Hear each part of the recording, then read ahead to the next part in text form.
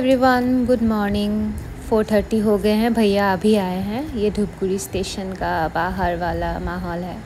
दुकान सब खुले हुए हैं, इतने लोग हैं, नहीं, लग ही नहीं रहा कि सुबह के चार चार बजे हैं। जैसा शाम हो रहा है, ऐसा लग रहा है। बहुत थक गई हूँ, रात को सो भी नहीं पाई। सुबह उठना जल्दी को, जल्दी था ना, इसीलिए अकेली भी थी। साढ़े पाँच बज गए और मैं फाइनली हॉस्टल पहुँच गई। हॉस्टल की हालत दिखाऊँगी। ये रहा मेरा हॉस्टल ये मेरा रूम है। अच्छा खासा साफ़ सुथरा है।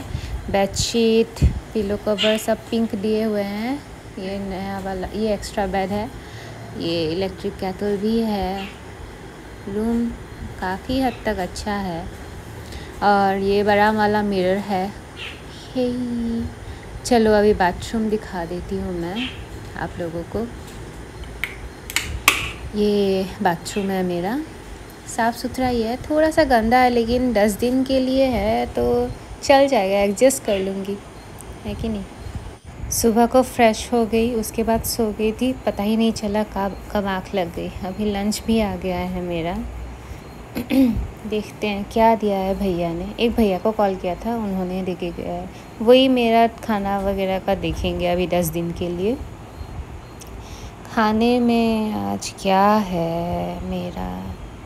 ये दाल है और नीचे इतना बड़ा वाला डब्बा दिया है। राइस, ओके, सब्ज़ी भी है, पकोड़े भी हैं, ठीक है। वो आलू की सब्ज़ी?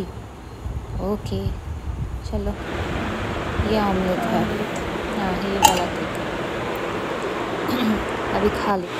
तो अभी फ़िलहाल मैं रेडी हूँ। जीन्स चेंज कर लिया। और कुछ नहीं है। वो रूम का हालत ऐसे ही पड़ा है। ठीक नहीं किया कुछ भी। लंच करके भी ऐसे रख दिया है अभी। एक स्टूडेंट आएगा या फिर आएगी सर का। वो लेके जाएगी मुझे लैब उसके बाद जो काम होगा वो बताएगी देखते हैं क्या होता है। The next day. Good morning everyone सुबह हो गई है। चाय पी ली है मैंने बिस्किट के साथ। ये यहाँ पे बॉईल किया। ये मैं घर से कैटल लेके आई मुझे पता नहीं था यहाँ पे मिलेगा बोल के। घर से ही लेके आई। अच्छा ही हुआ, लेके आ गई अपना। साफ़ करने की ज़रूरत नहीं पड़ी। ये रूम भी मैंने साफ़ कर लिया। पूरा पोछा लगा लिया आज। पूरा साफ़ हो गया है। कल फ़िलहाल वीडियो बना नहीं पाई मैं आके शाम हो गई थी ना। मन ही नहीं किया। इसके बाद अभी मैगी बनाने वाली हूँ मुझे। ब्रेकफास्ट भैया ने एक पराठा ही भेजा है। भूख लग रही है बहुत तो एक मैगी बना लेती हूँ, पराठे के साथ खाऊँगी। मैगी बस ऐसे बॉयल बना रही हूँ, क्योंकि कुछ कर नहीं सकती। अनियन है नहीं, यहाँ पे तो बनाना भी प्रॉब्लम होगा। पैकेट अंदर डालना ही, निकालना ही भूल गई मैं। ओके अभी इसमें और थोड़ा सा पानी पानी डाल, ज़्यादा हो गया पानी।